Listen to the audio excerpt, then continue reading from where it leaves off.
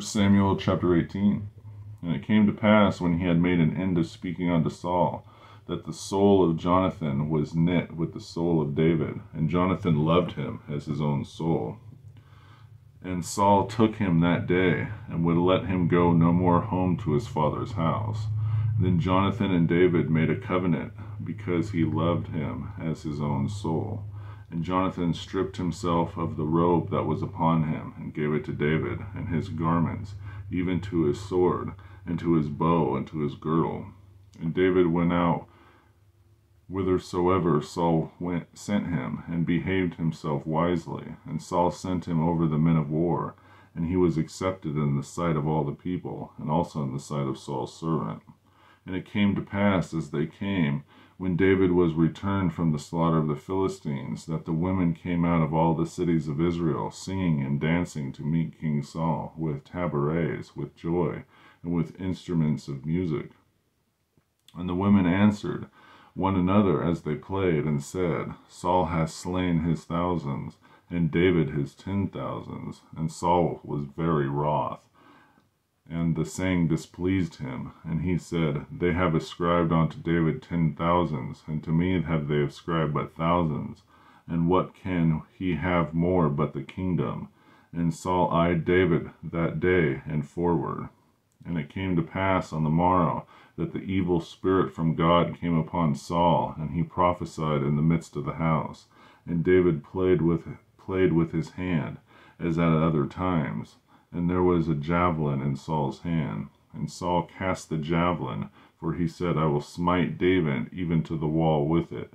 And David avoided out of his presence twice. And Saul was afraid of David, because the Lord was with him, and was de- and was departed from Saul. Therefore Saul removed him from him, and made him his captain over a thousand. And he went out and came in before the people. And David behaved himself wisely in all his ways, and the Lord was with him. Wherefore wherefore when Saul saw that he behaved himself very wisely, he was afraid of him. But all Israel and Judah loved David, because he went out and came in before him. And Saul said to David, Behold, my elder daughter Merab, her will, her will I give thee to wife only be thou va- valiant for me, and fight the Lord's battles. For Saul said, Let not mine hand be upon him, but let the hand of the Philistines be upon him. And David said unto Saul, Who am I? And what is my life, or my father's family in Israel, that I should be the son in law to the king? But it came to pass at the time when Merab, Saul's daughter, should have been given to David, that she was given unto Adriel, the Mehothalite to wife. And Michal, Saul's daughter, loved David. And they told Saul, and the thing pleased him. And Saul said, I will give him her, that she may be a snare to him, and that the hand of the Philistines may be against him. Wherefore Saul said to David, Thou shalt this day be my son in law, in the one of the twain.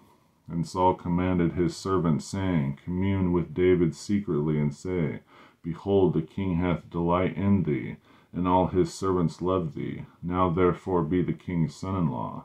And Saul's servant spake those words in the ears of David. And David said, Seemeth it to you a light thing to be the king's son in law? Seemeth that I am a poor man, and lightly esteemed?